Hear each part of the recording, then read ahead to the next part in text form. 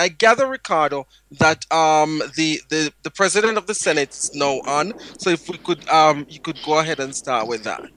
Good afternoon, uh, Senator Morris. Hello, good afternoon. How are you doing? Thank you. I'm well. Thank you so very much for joining us. Uh, Senator Morris, we've been having a discussion here back and forth, and some of our listeners are asking. So let me start with this question. Is there a specific standing order of the Senate that grants the president the authority to request the suspension of a senator? Well,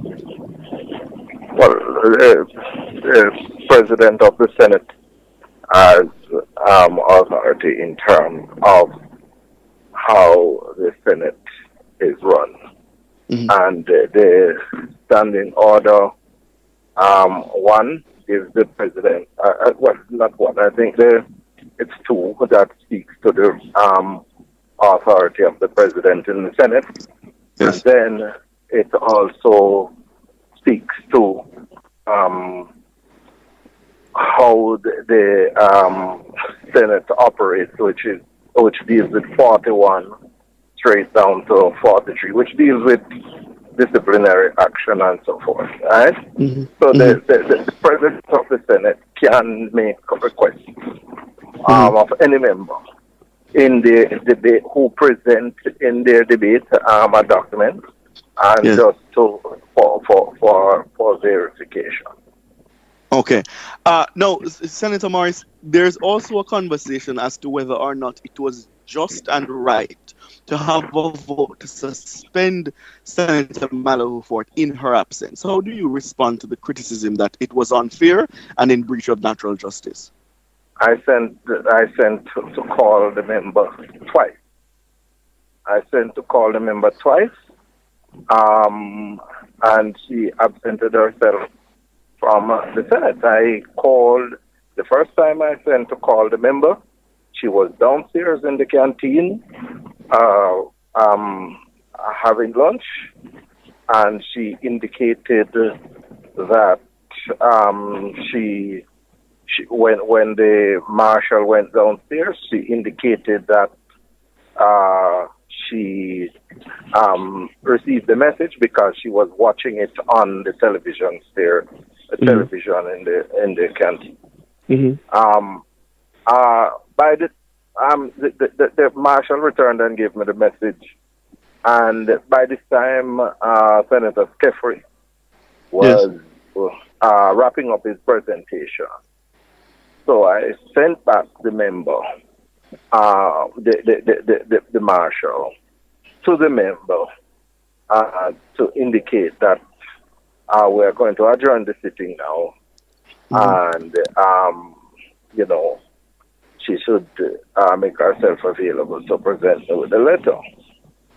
And uh, uh, the marshal returned with a message from Senator Malahoo Fortum that she, uh, I can go ahead and um, adjourn the sitting, and she will get the letter. Mm-hmm. Mm-hmm. Is this the first time, Senator Morris, that you are requesting the suspension of a senator since sitting in the president's chair? Yeah, uh, well, you know, I tell you, um, on Thursday, on Thursday, the said uh, member uh, what I had moved for suspension um, because in the debate there was a point of order by Minister Golding for uh, the word uh, mockery to be removed from a statement that was made by the member. And um, I requested um, that she, that it be removed, and she refused. And the orders are pretty clear. You know, when the when the president of the Senate gives an, a ruling that you have to adhere to it, and um, she refused. And um, you know, I, I made the request on, on on more than one occasion, and I had um, I even had to suspend the Senate in order to uh, have consultation with the leaders and uh, you know, when I returned, you know, I there was no um, uh, uh, agreement when Mhm. I suspended the Senate, and so I had to um, uh, adhere to the standing orders. But Minister Golding, Minister Golding pleaded um, for uh, the member, and uh, so we we aborted this, the, the, the, suspension, but there was a caution to Mhm. the member based on her conduct. Right. I even made the statement that was carried in the papers that, um, you know, I don't want anyone in the Senate or elsewhere to believe that I'm a quote unquote. I Mhm. That was Thursday, you know. And I cautioned Yes. the member, right? I cautioned the member on Thursday about her conduct because our conduct was on of defiance. So, I mean, uh, I, I, I would say that would be about the second time that I was moving. Mhm. Yeah. Oh, all right. So the I, I don't know if you're aware, but the um the JLP's area council one has moved a unanimous motion requesting that the opposition senators, it was moved today, do not return to any sitting of the Senate, all eight of them, until you apologize to uh, Mrs. Malahoo Forte and withdraw your suspension. And I, and I want to ask you, Senator Morris, in the grand scheme of things, because we know that, I there's a political That I apologize to her yes for what? for the suspension because they believe it was, um, as I said to you, a breach of natural justice.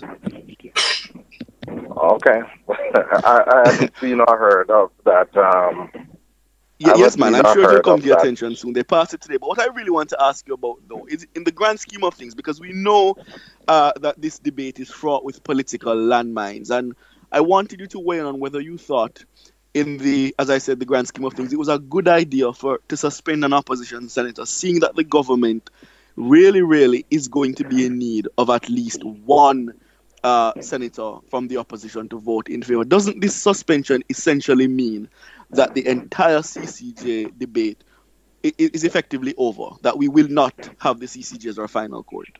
well, well, I, I, I, I don't know what the the final outcome uh, will be, but you know, I want you to bear in mind what I said transpired on both days. That on Thursday, what transpired on Thursday, and I ended up cautioning the member. Yes. And on Friday, the same member repeated her defiant behavior. Mhm. And uh, what signal I would be sending to the country in terms of the operation of the, the, the Senate. Um, By to just allow any uh, contemptuous behavior to um, operate in the Senate, then there would be no need for a standing order. But, but let me ask you this, Senator Morrison, because the argument out there, it, Morris, sorry, is that you, You know, were I- I- somehow. ho- hold on, hold on. You know, I um yesterday when I agreed to come onto your program, there were a number of questions that I wanted to that the gentleman spoke to me about that we would speak on the program, and um, I w- whilst I am prepared to answer any question that you want to um to ask, but you know, I just wanted to make it known that I came on the program to deal with uh, other issues. All right. Or absolutely, and, and, and we're so guided. But one of the quest, the argument out there, Senator Morris, is that um, you were somehow pressured by your government senators to sanction um, Senator Malahoo Forte. How do you respond to that? Sure. Um, Uh-huh. Again, I will make reference to what transpired on Thursday and remember that it is a con it, it was a continuous it's a continuous debate on a bill. So the, the, the discussion is running uh, um, as if you know it was uh, one day, yeah, because um, it, it's a carryover from Thursday. Eh? Mm-hmm. So I mean, having uh, having a government member pleading for the member on on on Thursday, and the the, the, the, the, behavior being repeated on Friday. I can't understand how anyone will say that can say I I I um was pressured by a government member to take action against against the member. Mm-hmm. I called the member, you know. I sent and called the member twice. And all that could have happened if the member was having lunch. Right? Because I have heard elsewhere that she um she had the letter because she made a request of three copies from whoever. Right? She couldn't make it to the chamber at the time. Send the the, the, the, letters to with the orderly now, the the, the, the, the marshal now. Right? Wouldn't you think that that would be an easy, simple thing to do? Mm-hmm. Huh? Don't you think so? Yes. Mm-hmm. All right, yeah, Senator Morris, let me ask you. Um, you're presiding over the Senate where this debate is happening so far. What do you make of the general contributions to the debate about the CCJ? And if you could just share with our listeners from your perspective as the president of the Jamaican Senate, why you think it is important for us to accept this this court? All right. I mean, um, thus far, I think there are. Let me just try to calculate quickly how many members of uh, the Senate have co- contributed. I think there are three go- um, three opposition senators and uh, four four government uh, senators who have participated in the, the debates thus far.